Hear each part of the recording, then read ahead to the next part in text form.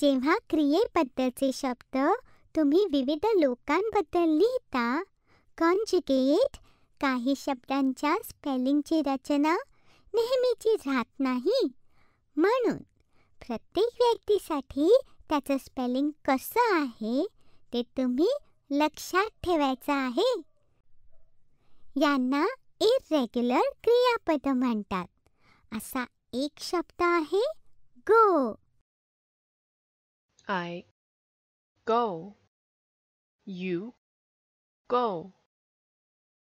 He goes. She goes. It goes. We go. You go.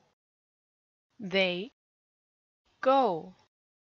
तुमच्या लक्षात येईल तुम्ही गो सर्वत्र वापरता केवळ ही शी इट सोडून इथे तुम्ही एस समाविष्ट करता I go to school.